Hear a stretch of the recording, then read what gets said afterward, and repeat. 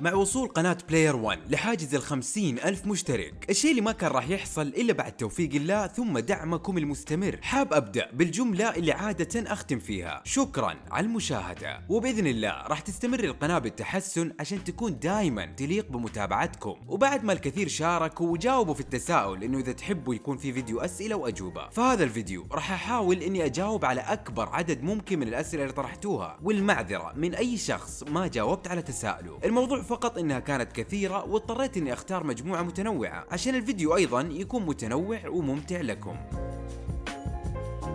الفيديو راح يكون مقسوم لجزئين. الأول راح يخص الأسئلة عن القناة والثاني الأسئلة عن الألعاب. وخلونا نبدأ من البداية. وكيف جت فكرة Player 1 وليش فتحت القناة؟ فكرة Player 1 تقريبا السبب فيها واحد من اصحابي المقربين اللي كنت دائما أكلمه عن الألعاب واللي بيحصل فيها من أخبار ومعلومات أشوفها مثيرة. فاقترح علي إني أسوي هذا الكلام في قناة يوتيوب. بعد ما فكرت في الموضوع وشفت إنه ممكن يكون عندي شيء أقدمه خصوصا إنه بيكون محتوى عن شيء أنا أحبه ومطلع عنه بما فيه الكفاية. ومن هنا جت بداية Player 1 أما بخصوص إيش كان أصعب شيء في البدايات فتقريبا أقدر ألخصها في ثلاث نقاط. الأولى إنه في أول ستة شهور تقريبا إذا مو أكثر. عانيت لين فهمت كيف أفضل طريقة نشر في اليوتيوب وكيف أختار مواضيعي وأصمم ال thumbnail بشكل جاذب وكيف أخلي احتمالية ظهور فيديوهاتي تزيد بشكل عام. أما الشيء الثاني اللي كان جدا متعب فهو المونتاج. لأنه هذا الشيء ما كان عندي فيه أي خلفية واضطريت تقريبا إني اتعلمه حبة حبة مع التمرن على برامج مختلفة من ناحية التعقيد والصعوبة. بداية من البرامج الأبسط مثل Movavi وصولا للبرامج الأكثر تعقيد مثل Premiere Pro Final Cut وحتى هذا اليوم ما زلت بتعلم أشياء جديدة سواء عن اليوتيوب أو المونتاج مع كل فيديو جديد.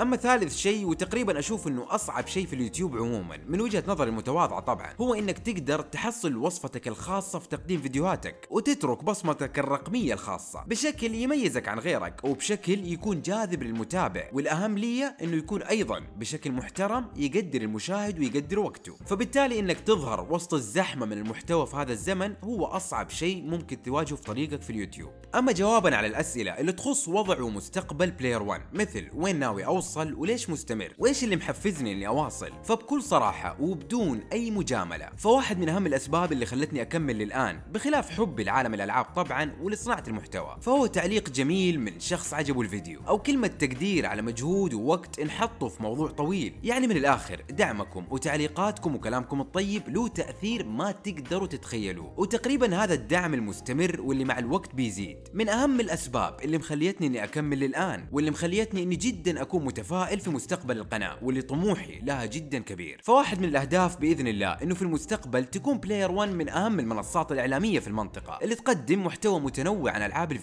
بالإضافة طبعا للأهداف المادية اللي لها دور في إنها تحسن من القناة على المدى الطويل. أما عن محتوى قناة Player 1 فحاب أجاوب على بعض الأسئلة حول هذا الموضوع. مثل إنه هل ناوي أغير المحتوى والأسلوب؟ وهل أنا راضي عن التفاعل؟ فبخصوص المحتوى أنا أحاول إني أنوع بأكبر شكل ممكن. يعني لو ترجع لآخر 10 فيديوهات من Player 1 في اي وقت؟ فراح تلاقي إنه بينها أخبار وتوب 10 وقصة وتغطية حدث أو لعبة ومراجعة وغيرها. وهذا الشيء يهمني جدا لأنه سواء لي كصانع للمحتوى أو للمتابعين فالتنوع يبعد الملل والرتابة وحتى أسلوب التقديم في كل فيديو. فيعتمد على الموضوع والنوع. فمثلا فيديو الأخبار ما يحتاج إنه يكون فيه حماس ومبالغة. الأهم إنه يكون فيه المختصر والمفيد. بعكس فيديو فيه قصة اللعبه مثلا فراح يحتاج إعداد مختلف وطريقة إلقاء تكون مختلفة وفيها نوع من العاطفة. أما بخصوص التفاعل فمثل ما ذكرت سعيد بكل مشاهدة وتعليق وإعجاب. وطبعا أطمح لأكثر وأكثر. أما جوابا على التساؤل اللي ألاحظ إنه بيتكرر من فترة لفترة في التعليقات وهو ليش ما أضيف تختيم الألعاب لمحتوى القناة؟ فالسبب بكل بساطة يرجع لموضوع الوقت وأيضا لأنه مقاطع التختيم منتشرة وشخصيا ما أشوف إني أقدر أقدمها بشكل مختلف يميزني عن غيري فيها فبالتالي أفضل إني أركز على محتوى آخر وإني أكتفي بتجارب يكون فيها انطباعات أولية إلين ما أنشر المراجعات المفصلة. ومع الكلام عن المراجعات حاب أجاوب على تساؤل حول المعايير اللي أتبعها لما أراجع أي لعبة. فبالنسبة لي المعايير عبارة عن مثلث الجزء الأكبر والأهم فيها هو طريقة اللعب. وهل قدمت تجربة ممتعة ومتنوعة؟ بعدها أشوف القصة والشخصيات وكيف تم تقديمهم وهل ارتبطت فيهم وفي الأحداث وفي اللي بيحصل ولا لا. وأخيرا أروح للرسومات والجرافيكس وأشوف إيش اللي كان مميز فيها سواء إن كانت رسومات تعتمد على الواقعية أو رسومات فيها توجه فني خاص. وبناء على أجوبة هذه الأسئلة أقدر أحدد تقييمي للتجربة.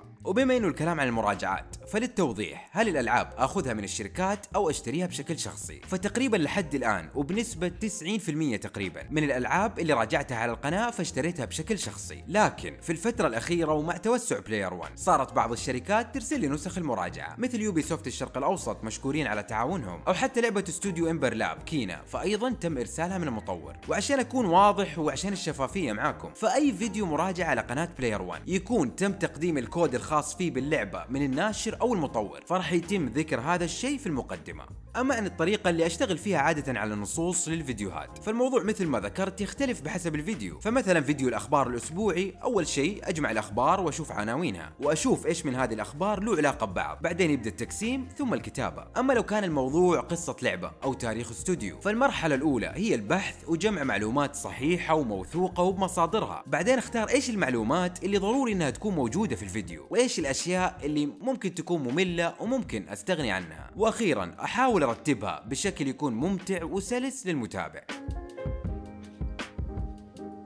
أشوف بكذا يكفي كلام عن Player 1 وعن القناة وخلونا نروح للألعاب ونجاوب على كم سؤال بشكل متتالي. إيش أول لعبة لعبتها في حياتك؟ فحسب ذاكرتي ال Super Mario على جهاز العائلة كان الشخصية الأولى اللي قدمتني لعالم الألعاب. لكن الفترة اللي أقدر أقول إنها محفورة في الذاكرة هي فترة ال PlayStation 1 لأنها كانت فترة تحول الألعاب من الثنائية لثلاثية الأبعاد وكانت تعتبر بداية عصر جديد من الألعاب وبداية لسلاسل أسطورية. واللي على سيرتها خليني أجاوب على السؤال الصعب صراحة وهو إيش هي أفضل ثلاثة ألعاب بالنسبة لي؟ لكن دام لازم أحدد فممكن إني أقول God of War 2018 سلسلة Metal Gear وخصوصا الجزء الأول. سلسلة Resident Evil وخصوصا الجزء الثاني. أما عن هل أفضل ألعاب القصة للاعب الواحد أكثر من ألعاب الأونلاين؟ فأتوقع أي متابع للقناة من فترة يقدر يجاوب على هذا السؤال وإنه نعم بالنسبة لي أجمل ما في الألعاب هي إنك تعيش جو تجربة لحالك في عالم خيالي. وعادة ألعاب الأونلاين بالنسبة لي تكون للفترات القصيرة أو وأنا بستنى لعبة قصة وتختيم أبغى ألعبها. وفي جواب على سؤال له علاقة بموضوع ألعاب اللاعب الواحد وإنه هل راح تنقرض ألعاب القصة والحصريات في المستقبل؟ فشخصيا أتوقع إنه العكس هو اللي راح يحصل. وألعاب القصة راح تزيد عمق وتنوع وإبداع. والدليل إنه حتى شركة EA الشركة اللي كانت تتوقع إنه ألعاب اللاعب الواحد راح تنقرض فغيرت نظرتها تماما. والسبب هو المبيعات العالية لألعاب اللاعب الواحد اللي ما فيها أي أونلاين وحتى موضوع الحصريات. فأشوف إنها بتستمر بكونها جانب مهم من الألعاب ومن أي مجال ترفيهي. أما عن إيش أفضل شخصية وأفضل قصة في الألعاب؟ فجواب سؤال أفضل شخصية في الألعاب بالنسبة لي راح أخليه دعاية لفيديو أفضل خمسة شخصيات وممثلين في صناعة الألعاب واللي اذا شفته راح تلاقي الجواب. أما من ناحية أفضل القصص فبالنسبة لي قصص Red Dead Redemption الأول والثاني God of War 2018 و The Last of Us أشوفها من أعمق وأقوى القصص في الألعاب. أما عن رأيي في سنة 2021 من ناحية الألعاب اللي صدرت فيها فبالنسبة لي أشوف إنه بعد اللي حصل من حظر وعمل عن بعد في 2020 وجزء من 2021 2021 وتأثر كل المطورين والشركات باللي حصل. فشخصيا جدا راضي على إصدارات 2021 وشاكر للمطورين إنهم قدروا يقدموا كل هذه التجارب في هذه السنة الصعبة. لأني فاهم قد إيش عملية تطوير لعبة صعبة ومعقدة جدا. حتى إن كانت لعبة بسيطة أو لعبة indie فما بالك بألعاب ال triple A بالتالي إنهم قدروا يعطونا كل هذه التجارب الجديدة بالرغم من كل الظروف اللي حصلت. أشوفه شيء جدا ممتاز.